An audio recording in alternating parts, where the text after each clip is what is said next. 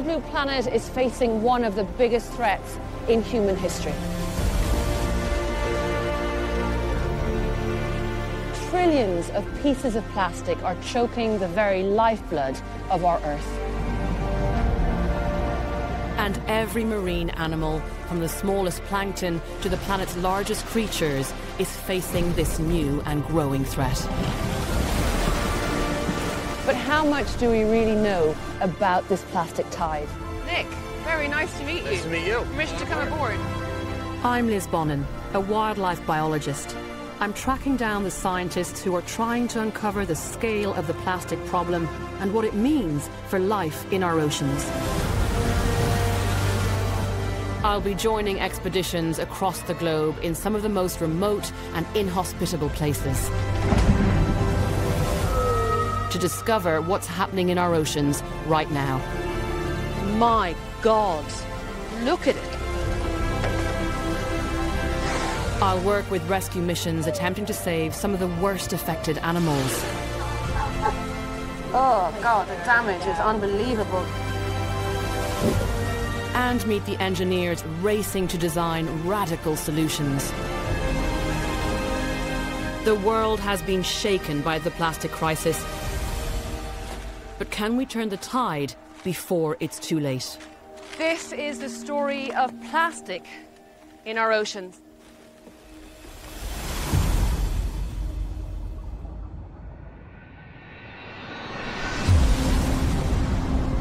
Last time, I travelled to Australia to discover how plastic is affecting seabirds. Oh, look at that. To Indonesia to witness the problem in its rivers. I just can't believe how people can cope with this. And I met the people inventing solutions to this global crisis. What is this made of? It's made of seaweed. Now, I'm continuing my journey by investigating the impact from industries that rely on our oceans. The staggering rise in our global consumption of plastic is down to the fact that it's cheap to produce, light to transport, and incredibly strong. This makes it very attractive to big industry, not least those working on the ocean, who need a material that can cope with the phenomenal power of the sea. The fishing industry puts more plastic in the sea than any other sector.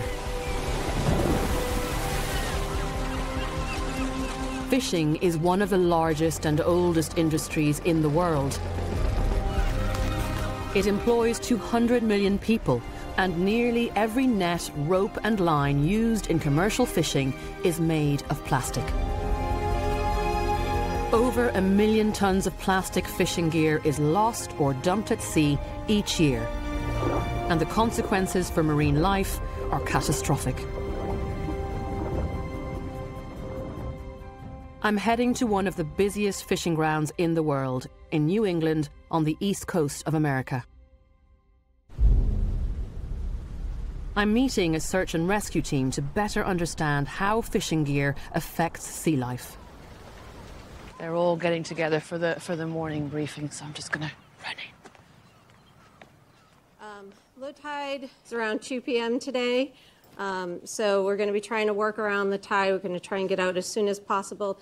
Um, so yesterday we did count at least 17 animals that were entangled. Um, so the work that we're doing today is really important. Thank you all for being here. Let's get all of our gear ready and start getting people loaded up.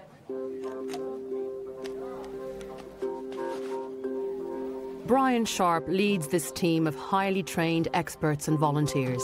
Seeing everybody walking around with lists, lists, Yes, lists, lots. heads down, lists. It is, yes. I mean, because it is, it is a massive amount of equipment, personnel, um, just the, the whole coordination of this. You know, it's something that we only get certain opportunities to do, so we want to want to make sure that nothing is forgotten.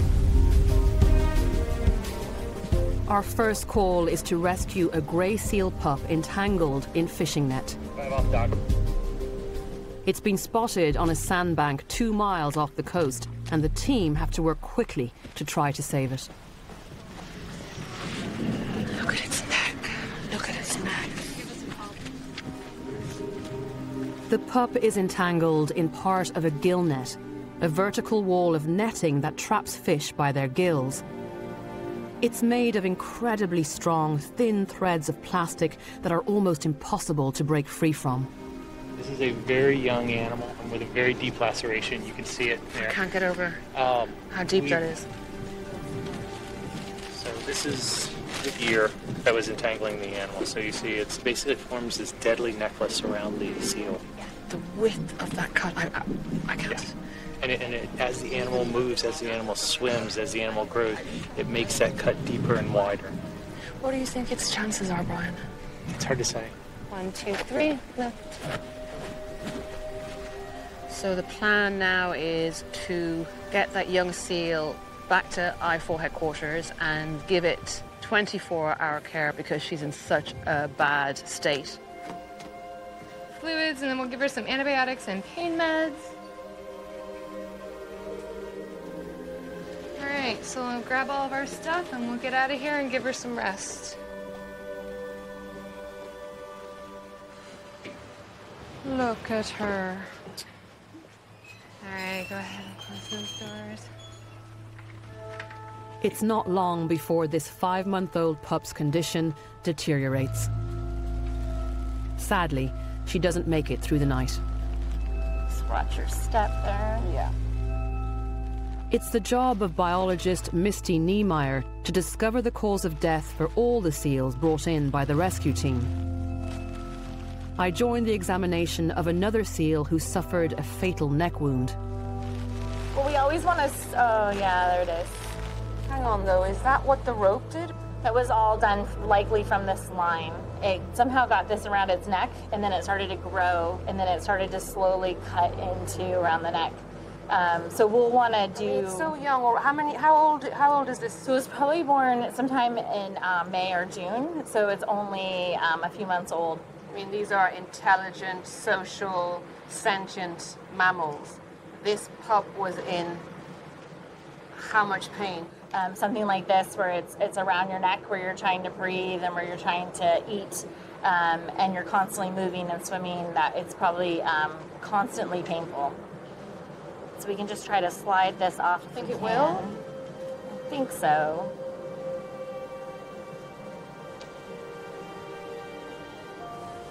Oh, dearie me.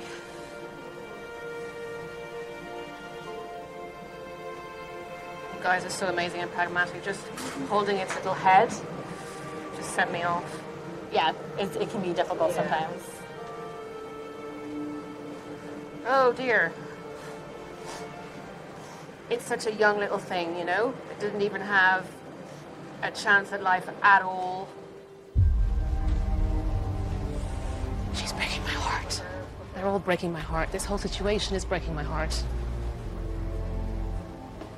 Can you believe this is what goes on when we carry on with our lives, you know? And then they've got to go back out there and keep going and keep going, and it just never stops. It's too much. Entanglements are affecting animals all over the world, killing an estimated 300,000 marine mammals a year and over 400,000 seabirds. Many of these animals have been caught in plastic fishing gear. Whales, in particular, are badly affected because they migrate through some of the busiest fishing grounds. One species of whale is so under threat, it's being pushed to the brink of extinction. The North Atlantic right whale. To reduce the number of right whale entanglements, local authorities here have imposed strict fishing bans at the peak of their migration. And fishermen have also made significant changes to their fishing gear. But with more rules and restrictions on the horizon, a backlash is brewing. We've got so much regulation jammed up our ass. The lobstermen, you're going to put them out of business. Not one of the boats in this harbor has caught a right whale, ever. Ever. I tracked down another fisherman. Nick, Yes. I'm Liz. Hi, Liz. Very nice to meet you. Nice to meet you. Permission come on to come aboard. aboard. Absolutely. Nick Muto is keen to explain the struggle the industry is facing and why plastic rope is so vital to their work. Can we see one of your lobster pot Yeah. systems here? So most of our end lines are 36 meters. Lobster fishing involves a lobster pot thrown to the bottom of the sea, attached to a buoy at the surface by a very long length of plastic rope.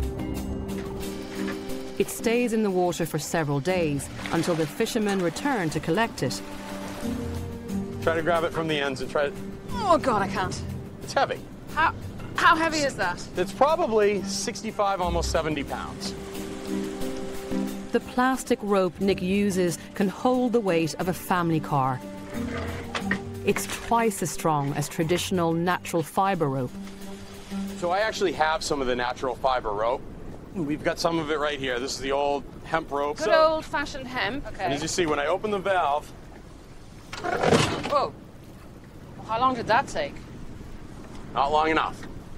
Show me that with one of your plastic ropes then. It's the same diameter, Same, right? same diameter rope. Yep. And as you can see, there's no way. There's no way.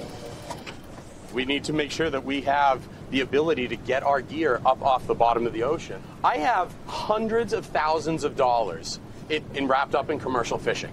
My, my wife, myself, my daughter, my three crewmen that I, and their families rely on me being able to make a living on the water.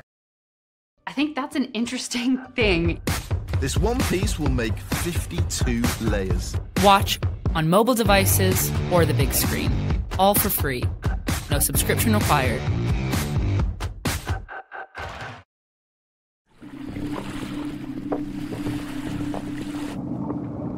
It's estimated that 3 million miles of this virtually unbreakable plastic rope is used on this coastline alone. But it's this same rope that causes terrible harm to migrating whales. Thousands of these ropes hang vertically in the water, creating a deadly obstacle course. Despite their incredible size and strength, the only way to free the whales once entangled is to attempt an incredibly dangerous rescue mission. So, Liz, uh, this is our team. One of the few people skilled enough and brave enough to do this is Scott Landry. He and his team are on call seven days a week, patrolling an area over twice the size of Britain. This was on a humpback whale, and we worked on Saturday to remove this from this whale. You've literally got the whole lobster pot gear. You've got the buoy at the top, the rope that extends down to the bottom of the ocean. It's just rope, a pot, and a buoy, and it can cause a really complicated problem. Scott recorded his latest mission on headcam. There's the whale. Right here, right here, right here, crossing our mouth. Yep, yep. Put it in neutral. And there's that buoy. And the grappling hook, he doesn't want the buoy, he wants the line that's underneath the buoy. A yellow rope is hooked onto the fishing gear that's wrapped around the whale's tail, so they can edge themselves closer to one of the largest and most powerful animals on Earth. So the whale is carrying on. Oh, I can see the other rope training. See all this the is rope- all this all stuff. this This, rope is all right this here. stuff. This is That's exactly it. crazy. And so right now they're letting the line pay out. And the whale is dragging the boat at a fierce rate. You're going. Yes. You're being pulled whale's by the gonna- whale, and you've got to let that whale take you. Yeah, and the whale's going to react automatically. I, I mean, I can't get over what I'm seeing. All right. Well, we're gonna need a knife. It's an incredibly dangerous procedure. Last year, Scott's friend and colleague died while trying to rescue a whale. And so as the whale's at the surface, we draw ourselves closer and closer to the whale. You can see the wound and the rope going right into it. Oh, yeah, yeah, yeah. And the rope notice- is plastic. It's not hemp, which is the reason why the whales are in such a pickle. Yeah. So you can see our support boat in the background. Yeah. All right. So, this thing right here. Grab that quick. So now on the end of that long pole is a hook-shaped knife that is extremely sharp. We're working our way up. I'm gonna come on. After hours of back-breaking work, they skillfully release the buoy.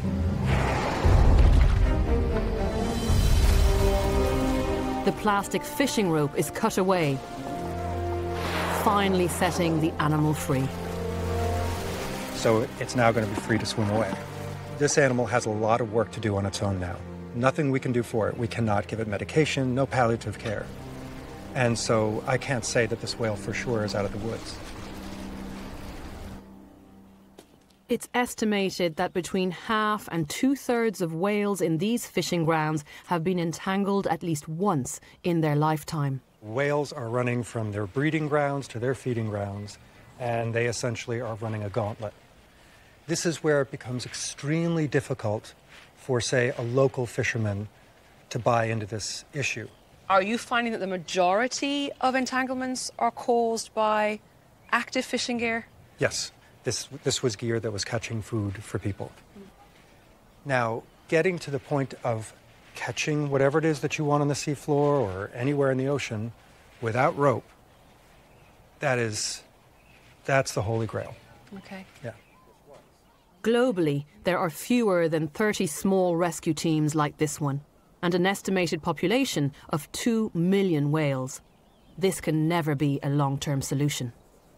The only way to stop entanglements is to remove those vertical ropes from the water column. That's the only way they're going to really protect whales here.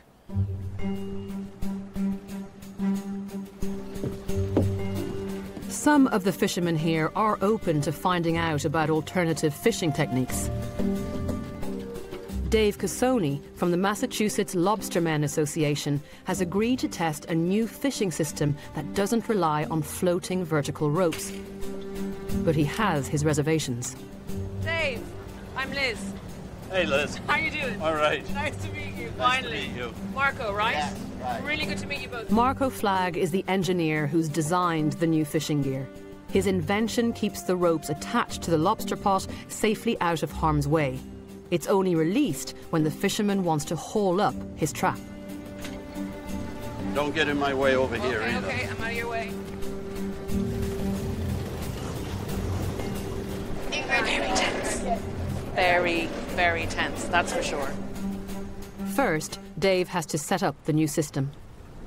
So this line has to go inside here, and now this has to go in these gargantuan holes. I think this is very time consuming and difficult in sea conditions. It's tricky. Time. No, I can see Now that with I'm- everything else you've got to do. New technology, Dave. Marco has it. He's got to attach it to that trap now.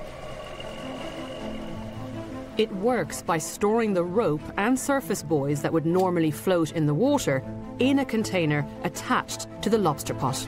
You guys have got to all be away when this goes back in. Right, Dave, where do you need us to be? Up in the wheelhouse. It sort of wants to go upright. Is it going to go upright? Up, yeah. Here it goes, here it goes, here Yeah. it goes. The pots can now sit on the seabed without any plastic ropes causing an obstacle to marine life. But with no visible buoys, Dave needs to use a GPS system to find his pots. You're going to the right, or you can do a circle the other way. We need to turn back on ourselves, basically. I'm putting it in neutral because we're right over it. Okay, we're right over it, Marco. Here we go. All right, we're deploying it. Okay.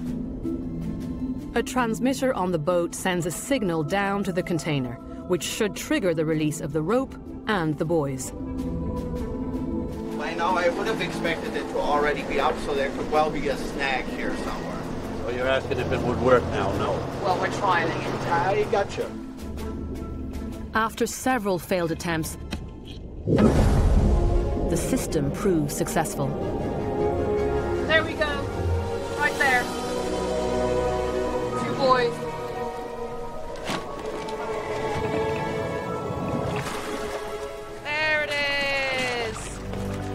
Technology is there, but there are glitches. So even though you've seen this pop up, Yes. you're not confident yet. It has a lot to overcome. I'm not sure that I'm thrilled with being the pioneer on this. Why not? Because some pioneers are glorified, others are vilified.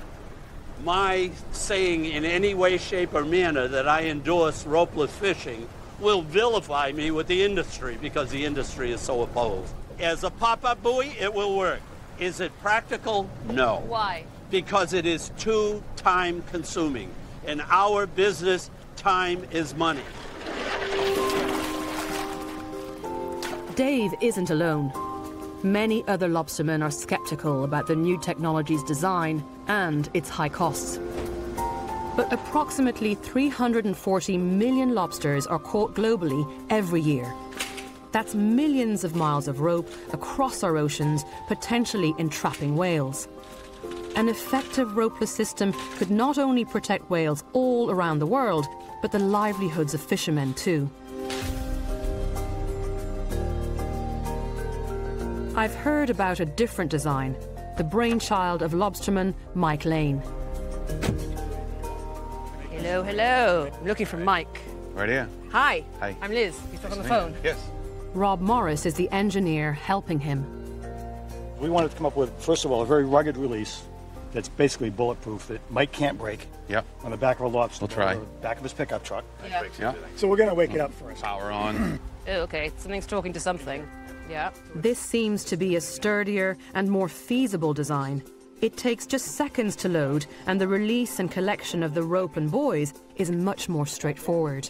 It looks pretty simple, and it looks like it would work. Why did you feel like you wanted to find a solution? You got to be responsible for what you do in life.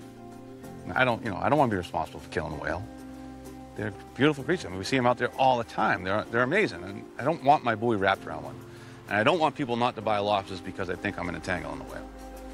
So I want to solve the problem. Perhaps this exciting collaboration between lobsterman and engineer can finally put an end to the threat of whale entanglements and save the northern right whale from extinction.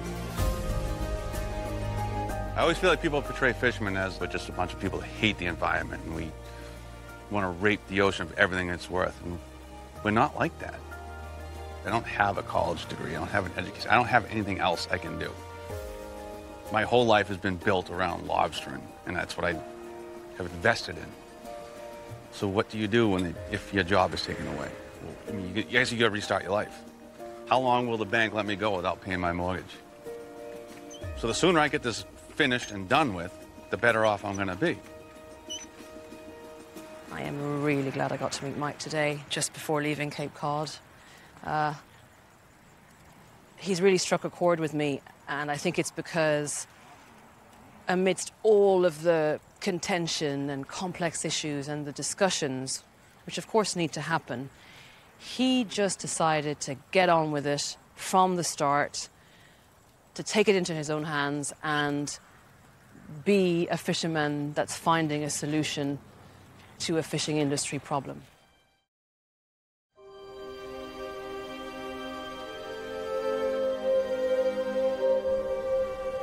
I've spent the last nine months researching this plastic crisis, and what's becoming clear is that the very qualities that have made plastic such a central part of our lives are also those that make it so destructive to marine life. Plastic is one of the most durable materials on the planet.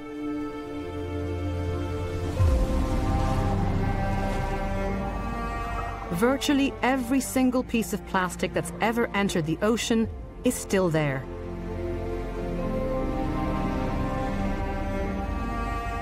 In fact, plastic has recently been found at the bottom of the Marianas Trench at a depth of seven miles. And scientists have now discovered that plastic is threatening one of the ocean's most fragile ecosystems coral reefs. I'm heading to a part of the world known as the Coral Triangle, an area of coral reefs that stretches over 2.3 million square miles, from Indonesia to the Philippines and Papua New Guinea to the Solomon Islands. Hi. it's so nice to finally meet it. you. How? Yes. Can I help you with some stuff? Yeah. I'm joining Assistant Professor Joleah Lamb, an expert in coral ecology, who is here to study why plastic is so lethal to reefs. Corals are extraordinary animals. Our oceans contain over 9 million species of them, and the reefs they create are the largest living structures on Earth. Coral reefs are the nurseries of the sea, providing shelter for a myriad of small fish and feeding grounds for a whole host of species. But with these precious ecosystems already straining under the pressures of our modern world, plastic is posing yet another threat.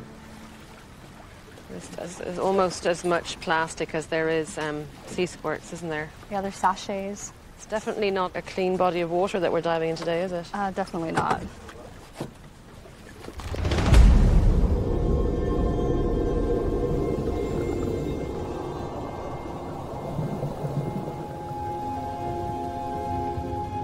As soon as I'm under the surface, it's clear that this reef is in trouble. These corals are already immensely stressed due to rising water temperatures from global warming. And all around me, plastic is now covering these vulnerable animals.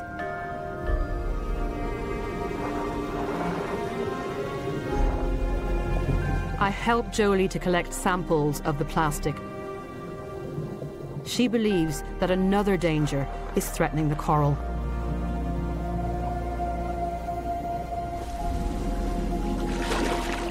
Just disgusting. Just disgusting. That's all I. That's all I can say. Did you think you'd see that much? No, uh, it just never ended. But then, more than anything, it's these flipping things: coffee sachet, softener sachet. What the heck is that? I coffee? think this is a tea or coffee. A tea sachet, a soup sauce sachet, sachet after sachet after sachet after sachet. Did you see the little juvenile recruits on that bottle? Yeah. There's something really powerful about seeing a really old bottle with a coral growing out the neck of it. It's almost like nature's doing absolutely everything it can to try and survive this mess. And yet, right beside that little bit of life growing out of plastic, there's a whole area that's just dead. And this is just one of the sites, so there are many islands out here that have much more plastic than this. More than this? There can be more plastic than this. It's tragic. It's just. It's tra- It's just. Oh my god.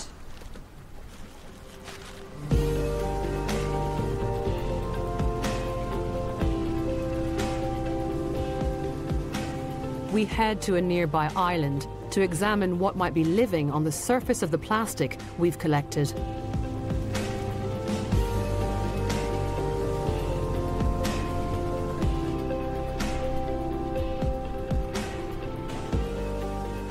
When we were coming up on the boat, it looked like a little piece of paradise, didn't it? And now, It's covered. look at all the fishing lines on the bottom of the of the pier.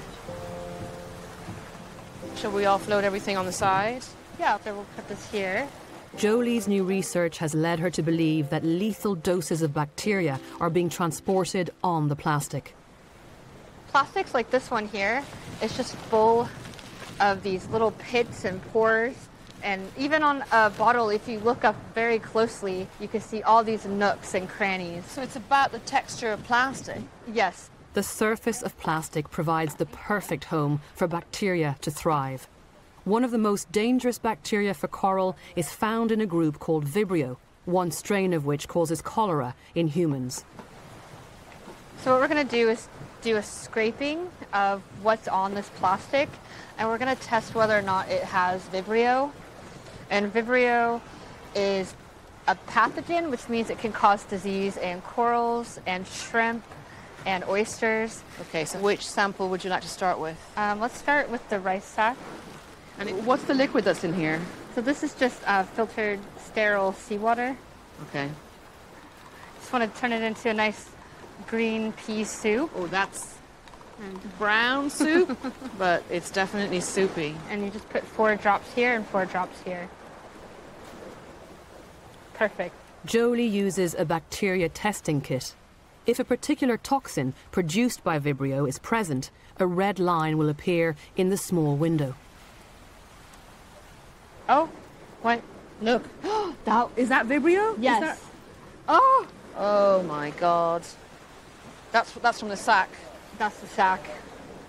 Yeah, this one is late too. So what does this mean for this reef? It's essentially a whole new way to transport diseases that we never even thought about until this year. Until this year? This year.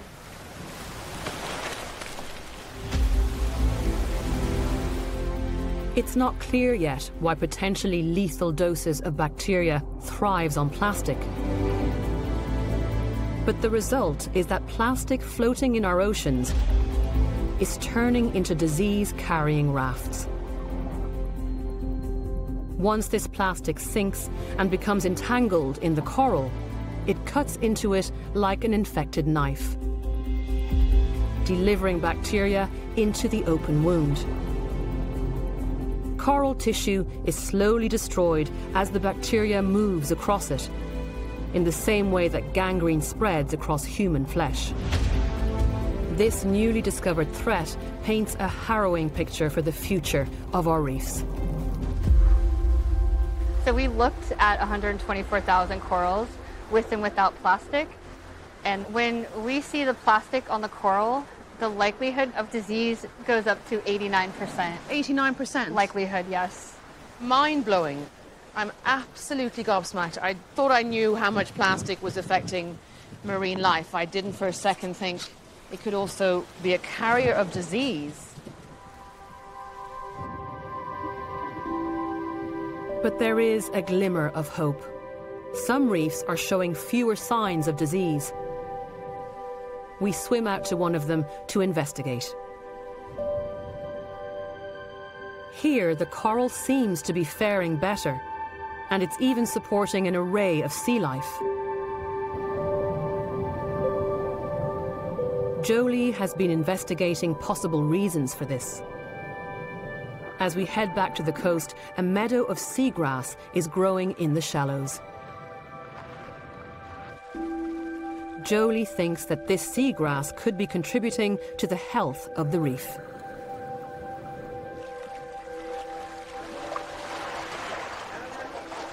So look at it. Look at what happens. Like there's like no plastic, and then it traps it.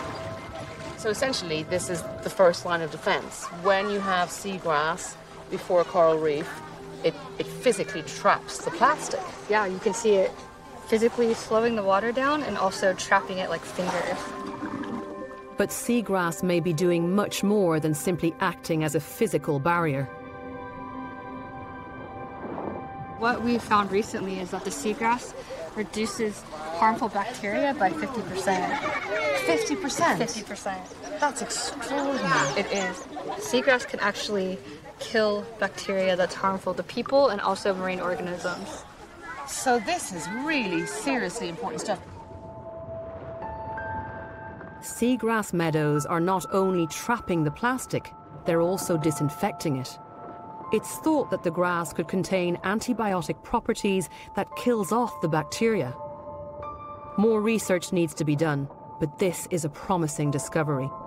It may be that nature will provide some solutions of its own to the plastic crisis. Seagrass is on every continental shelf except for Antarctica.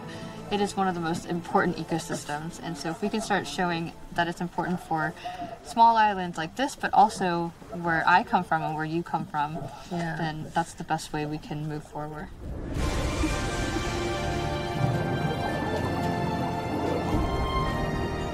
When it comes to other global crises, when it comes to climate change, we have been studying that for decades now. We are only just beginning to really pay proper attention to plastic pollution in our oceans. And as much as there is hope with the seagrass, that can't be the only solution. It won't be. It won't be the only solution. We have to find other answers and we have to find them very, very quickly.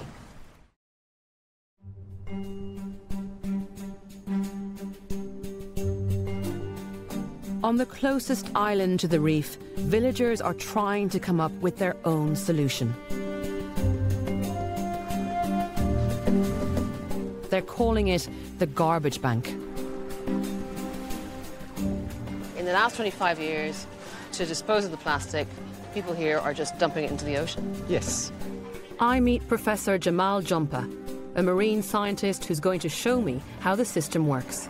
They, they see it's a solution, a simple solution for them to get away from this garbage. And, and they have no other option. They haven't had any assistance from the government or anyone else about where to put it. So where else would they put it? Right. But for them, it is not a problem because they don't see that yet as a disaster. They don't see this is going to reduce or affect their livelihood. Yeah. The villagers here are taking things into their own hands. A community enterprise project has begun to make it worthwhile for locals to be more careful with their plastic. Hello, hello. So, so what is this place? This is called kind of garbage bank. The bank collects used plastic from the neighbourhood, paying people by the weight they hand over. People in the village get credit for the plastic they bring, but then what happens to this plastic? Okay, so then they bring it to the city, Makassar. And then do they get money for it? Yeah, so they And- get cash basically. So in Makassar, there's a central collection. This garbage bank is the first link in a chain that's making plastic waste valuable. Okay. Thank you. Bye bye To find out if the system is effective, I follow the chain to Makassar City, the provincial capital. Good afternoon. I'm looking for Nasrun. Nasrun. Yes. Hello. Nasrun runs the facility here, sorting the plastic that arrives from 600 small garbage banks. Saya bisa dalam satu hari kalau plastik lima ton. Karena kami punya kantor dua. Five tons a day. A day. So that makes me think two things. There's so much plastic to collect, but people are doing it. People are collecting it for you and bringing it to you. Ah, cups. I saw them preparing this on the island. Once the plastic is sorted by type, Wrapping, wrapping, wrapping, wrapping. This is all bottles? various companies arrive to buy it. Nasrun, where are these bottles going now? Ini nih plastik ini akan dibawa oleh vendor yang ngambilin kebetulan ini vendor khusus botol. Jadi itu masuk dibawa di gudangnya, nanti di sana disatukan kembali ke So I've just spoken to the guy who's buying these bottles, and he's allowing me to follow them to his establishment, the next link in the chain. We travel to a much bigger warehouse on the outskirts of the city. So this is it. This is your operation. The owner, Mawan Hassan, has been buying and selling used plastic bottles for nine years. Mawan's team are processing thousands of bottles a day. How big is this warehouse? How many sacks of plastic bottles do you have inside that warehouse right now? Uh, stok yang sekarang di dalam ini kurang lebih 30 ton 30 tons. You've got a full house. full. Oof. All bottles. Yeah, special just, botol. Just bottles.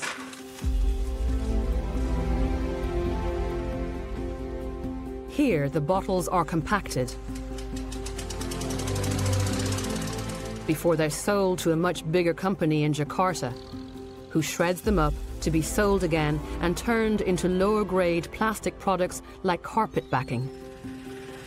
But you know what? This mass of plastic is being dealt with. 30 tons of plastic bottles are not in the oceans because of this guy.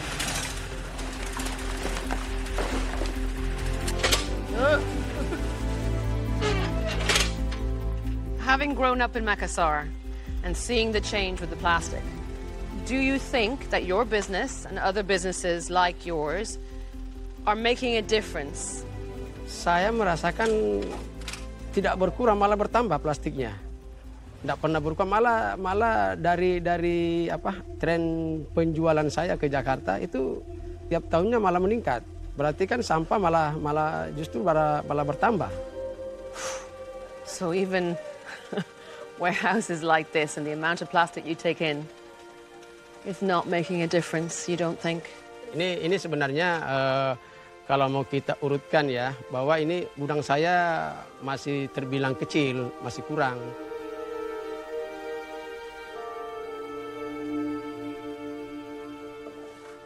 I'm feeling a little bit stupid right now and um, painfully naive. like when I met Nasrun, I was so elated uh, when I thought that, oh gosh, okay, there's a solution here, there's an answer. And, and of course, they're doing something. It's better than doing nothing. But what I've just learned in here is that it's not breaking the back of the plastics problem. And this isn't making a difference. Like, what does that mean about how bad, how bad this is? The reality is, there simply aren't enough facilities here to keep up with this relentless deluge of plastic. But this isn't just Indonesia's problem. Across the world, only 11% of plastic is recycled. Currently, the focus is still on producing new plastic rather than recycling it. If something doesn't change, it's estimated that annual plastic production in 2050 will have increased by 500%.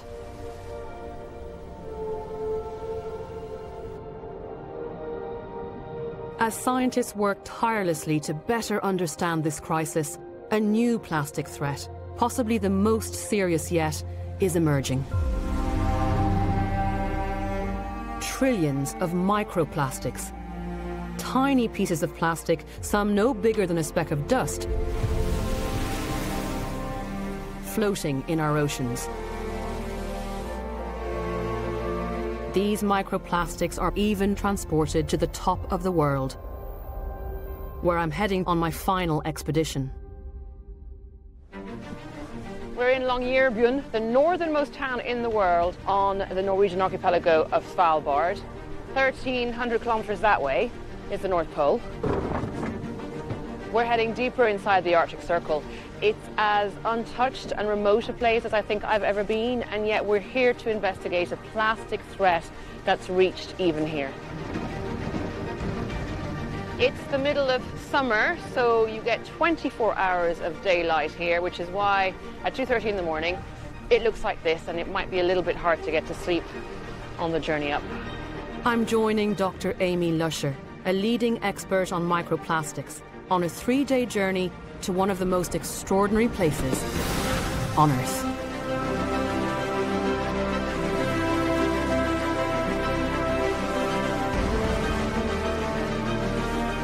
The Arctic is home to some of our most astounding wildlife. Magnificent polar bears roam the ice. Walruses haul out on the beaches and majestic narwhals and belugas hunt in the freezing waters.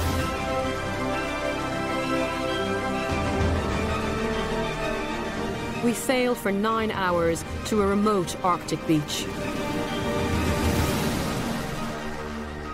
Miles from any human habitation. Where exactly are we? We're on a spit of land. It's called uh, Prince Karl's Forland. And over there is the North Atlantic leading into the Norwegian Sea. And up there is the Arctic. We are in a very remote part of the planet. And yet, the plastic reaches even here. Tomato ketchup, good Yeah, lord. That's a tomato ketchup. With I mean, I can't believe the nozzle and the bottle separated at whatever stage. It's obscene. Up here in the Arctic, the plastic becomes really, really brittle quite quickly, and they just start to break down. So, yeah, it just snaps in your hand.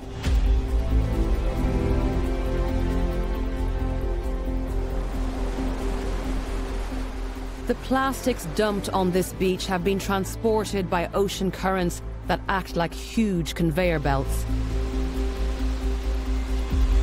Much of this plastic has traveled here from Northern Europe. Finding big pieces of plastic in one of the most remote places on Earth is alarming enough. you take this and fill it up with some nice clean water. But Amy is much more concerned with the smaller fragments. We take a closer look at the sand. So now we're just going to take a scoop of the top layer of sand. Okay. And put the sand in carefully. And if we tape it so it comes out of this corner, it will be a lot easier for us.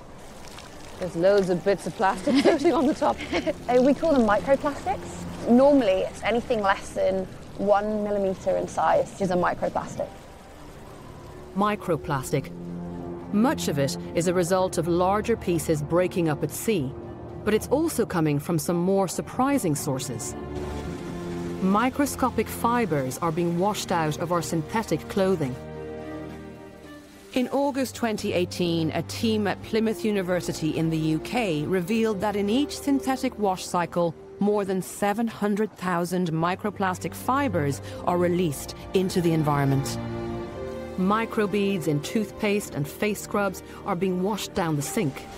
And rain is flushing tiny plastic fragments from our car tyres into drains.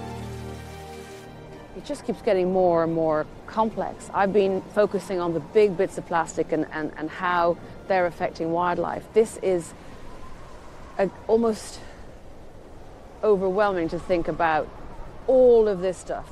It's a little bit scary when you think about it. Um, originally, they used to say the only places that we hadn't found microplastics were the Arctic and Antarctic, but um, it's in front of us here.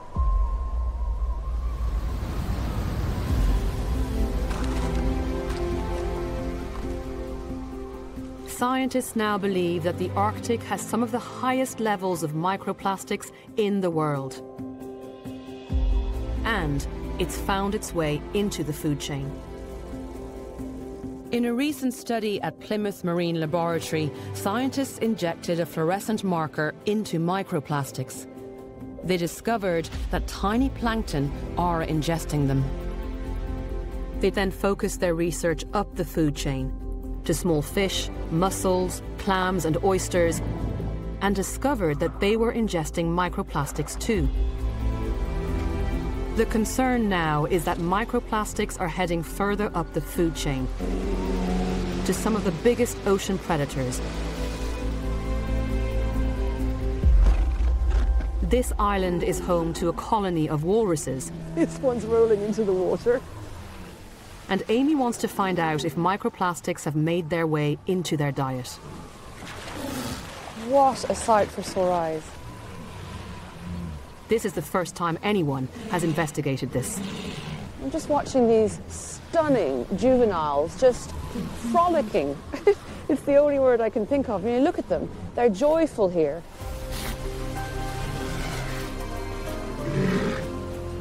Despite weighing over a ton, walruses mostly feed on small mussels and clams living on the ocean floor.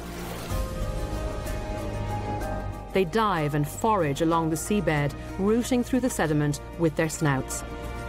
They can eat up to 6,000 mussels and clams in a day. They've noticed us. They don't seem tense or nervous about our presence. And it's just such a beautiful sight.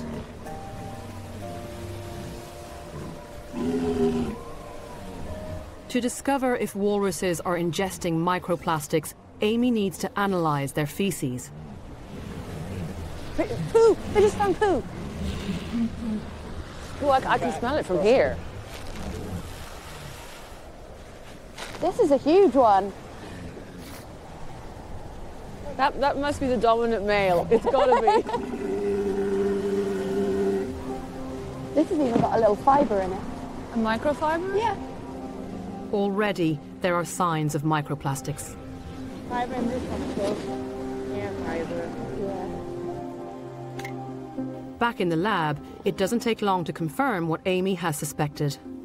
So I found a fibre. I can see it. I can see it. So if you look down here, you'll Okay. see it a lot clearer. Okay.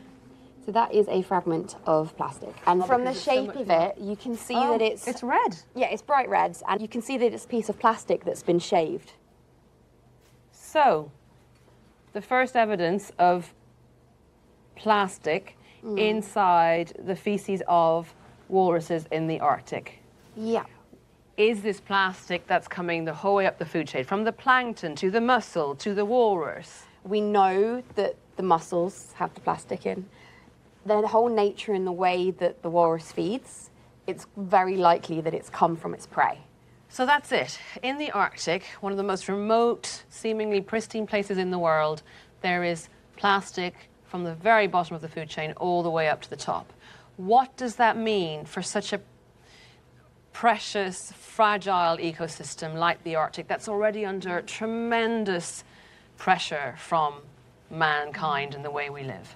As more plastic enters the environment, there's going to be more plastic available for animals to ingest.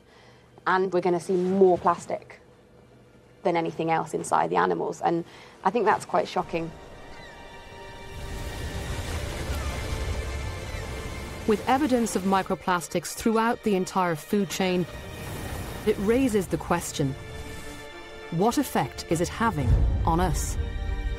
Scientists have now discovered that plastic is entering our bodies from a whole host of different sources.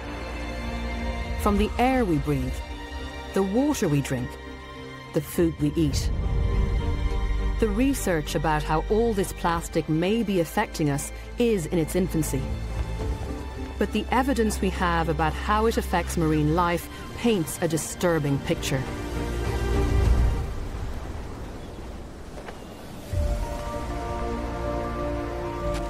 As the ocean plastic crisis becomes ever more apparent, more and more people are taking action to become part of the solution.